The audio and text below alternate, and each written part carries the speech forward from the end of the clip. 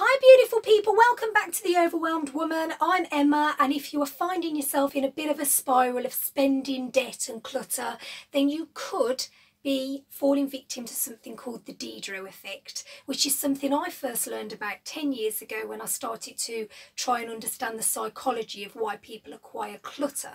And it goes right back to the 1700s when a French philosopher, Denis Diderot, recognised an increased pattern in buying things following the purchase of a new robe. Because rather than be satisfied with that, he started to actually look at all the other stuff around it that seemed a bit shabby in contrast and feel dissatisfied. And he recognised that the introduction of one item generally, um, invariably, uh, creates the purchase of lots of other items. So for example, that behaviour continues today. You may have bought a sofa and then thought my, my cushions are a bit shabby, my curtains look old, I might need a new throw to go with it. And before you know it, you've overhauled your living room and bought stuff you may not be able to afford and didn't actually necessarily need. Um, and advertising companies play on this massively because they know that our first response as humans is an emotional one, followed by the rational thought that goes, no, I don't need it, I can't afford it, it'll have to wait. So when they tell you that buying that amazing suit will make you feel invincible and buying the latest gadgets will bring you joy and success in your life, you start to believe it.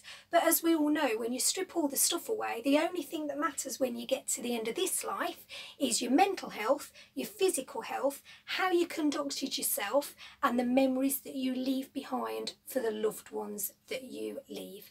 So don't feel under pressure to buy stuff. If there's a reason, there could be lots of reasons why you do buy and buy and buy and never really feel happy, but that's a whole different ball game and a video for another time.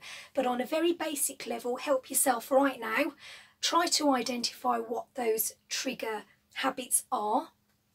Unsubscribe from emails that promise you all these deals, throw glossy catalogues in the bin as soon as they come through the door and have a shopping list and stick to it. And whatever you do, especially if money's tight and you've been impacted by COVID this year, as we all have, um, don't go down the route of going, do you know what?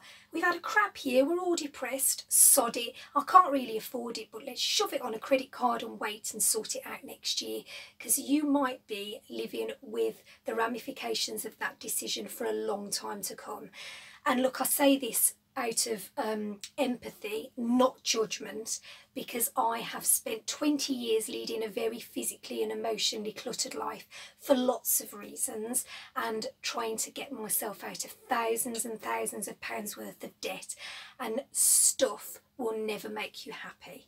And honestly, the less stuff I have, hand on my heart, the happier and more content I am with my life and able to control it to some degree in a way that I could never do it before by having a load of clutter and stress. So until next time, if you're overwhelmed, you're not alone. We're all overwhelmed together. And uh, poke me and subscribe me and whatever it is they do.